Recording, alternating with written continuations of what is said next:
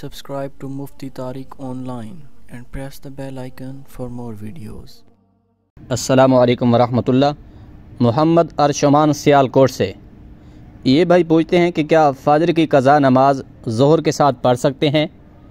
यानी अगर फ़ाजर की नमाज़ कज़ा हो जाए तो फिर उसे ज़ोहर के वक़्त में पढ़ना कैसा है? बराह करम, इस बारे में ज़रूर रहनुमाई कर दीजिए। देखिए भाई यह सवाल अक्सर मरतबा पूछा जाता है कि अगर फ़ाजर की नमाज़ कज़ा हो जाए तो फिर ज़ोहर की नमाज़ अदा कर लेने के बाद फ़ाजर की कज़ा पढ़ सकते हैं या नहीं? अब इस मसले को आसान तरीके से आप समझने की कोशिश करें।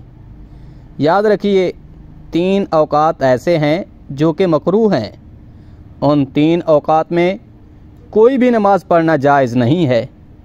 और फिर इन तीन अवकात के अलावा किसी भी टाइम कोई भी कज़ा नमाज़ आप पढ़ सकते हैं। उसमें कोई मुजायका या हरज, हरगिज़ हरगिज़ नहीं है। अब उन तीन मकरू अवकात का समझना भी इंतहाई ज़रूरी है।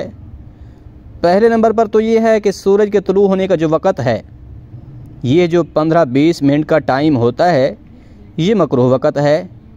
इसमें कोई भी नमाज़ पढ़ना जायज़ नहीं है। हाँ अगर आपने फ़ाजर की नमाज़ अदा कर ली है अब आपके पास टाइम है और सूरज तुलू होने में भी अभी टाइम बाकी है तो आप इस वक्त कज़ा नमाज़ पढ़ सकते हैं। लेकिन सूरज के तुलू होने का जो वक़्त है, ये जो पंद्रह बीस मिनट का टाइम है, ये मकरूह टाइम है, इसमें कज़ा नमाज़ पढ़ना जायज़ नहीं है। दूसरे नंबर पर है जवाल का टाइम। यानी जब सूरज बिल्कुल सर के ऊपर होता है तो ये भी नमाज़ पढ़ने के लिए मकरूह टाइम है। और तीसरे नंबर पर है गरूब आफ्ताब का वक़्त। यानी सूरज जब गरूब हो रहा होता है तो उस टाइम भी जो पंद्रह बीस मिनट का वक़्त होता है, ये भी मकरूह वक़्त है। इसमें भी कोई कज़ा नमाज़ नहीं पढ़ सकते। अलबत् असर के बाद कज़ा नमाज़ पढ़ सकते हैं। यानी असर की नमाज़ अदा कर लेने से लेकर सूरज के गरूब होने से पंद्रह बीस मिनट पहले तक आप कज़ा नमाज़ें पढ़ सकते हैं।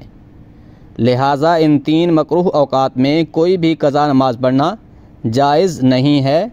लेकिन इन तीन अवकात के अलावा कोई भी कज़ा नमाज़ किसी भी नमाज़ के वक़्त आप पढ़ सकते हैं।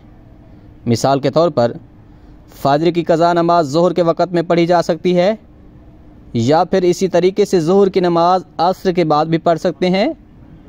इसी तरह असर की नमाज़ अगले दिन फ़ाजर की नमाज़ के बाद भी पढ़ सकते हैं। या फिर ईशा की नमाज़ की अगले दिन जोहर के बाद कज़ा पढ़ना चाहते हैं तो भी पढ़ सकते हैं। होता यह है कि इसमें बहुत सारे लोग परेशान होते हैं कि जो नमाज़ आज कज़ा हुई है तो इसे अगले दिन इसी नमाज़ के साथ ही कज़ा कर सकते हैं। इसके अलावा नहीं पढ़ सकते। तो ये सोच बिल्कुल भी ठीक नहीं है। लिहाजा कज़ा नमाज़ जितना जल्दी हो सके उसे अदा कर लीजिए और फिर इस पर तोबा भी लाजमी कीजिए। क्यों? इसलिए कि नमाज़ में ताख़िर करने वालों के लिए अल्लाह करीम ने तंबी फरमाई है। फरमाया फ़वाइलमसलिन हलाकत है उन नमाजियों के लिए। अल्लादीन हम अन साहूल कि जो अपनी नमाज़ों में सुस्ती से काम लेते हैं। अब जितना जल्दी मुमकिन हो कज़ा नमाज़ अदा कर लें। तो ये तीन अवकात हैं जिनमें कोई भी कज़ा नमाज़ नहीं पढ़ी जा सकती। पहला है तलु आफ्ताब का वक़्त, दूसरा जवाल का वक़्त और तीसरा गरूब आफ्ताब का वक़्त। इन तीन मकरू अवकात के अलावा किसी भी वक़्त में कोई भी कज़ा नमाज़ बग़ैर किसी टेंशन के पढ़ सकते हैं।